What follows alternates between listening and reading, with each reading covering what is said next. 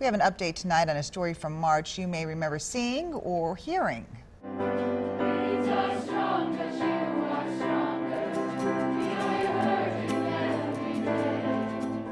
This is Alex Weed. He has been fighting lymphoma for a year. In March, his English teacher and friends at Delano High School came together to create this catchy tune in his honor. It plays off his last name, saying he is stronger than weeds. He got a bad report from doctors the day our story aired.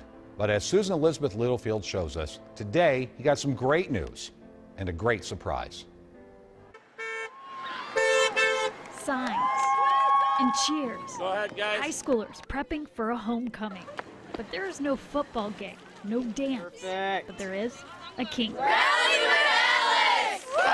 He's always the life of the party, you know, and he makes everybody smile. Love you lots, Alex. I love him. He's my best friend. We all love you, and I hope this is a really good surprise. And he could use some good fortune. Alex got a bone marrow transplant. He's been in Masonic Children's for 47 grueling days. His family says he's been so very tough. And now his transplant is working. Oh, super proud, yeah.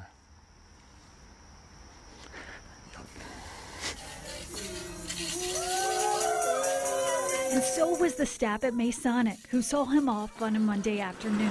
As he rode to Delano, hundreds lined the streets he grew up on his friends, his neighbors, his teachers. Are you ready to have him back in the classroom? Yeah. Yes. Look, Alex had no idea this was coming. They're welcoming you home.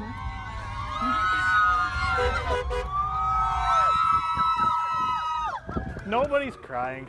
You didn't know at one point, and now that he's home, makes you feel so much better. For the emotions, as much emotion as he's going to show, you know, he's super thankful for all the people. Not only is he stoic, the king of this homecoming is strong. Alex's dad says he probably won't be able to make it to his school's homecoming this year. He's still got a lot of healing to do. He likely won't be back at school until the winter, but you can imagine, guys, when he goes back, he's going to get another welcome like that. Oh, it's so wonderful to see. That's, So uh, loved. Uh, yeah, definitely. That's great. Definitely. I think half the town was there. I think more. so. Yeah. Go, Alex. Go. Right, good luck, Alex, for sure. Thank you, Susan Elizabeth.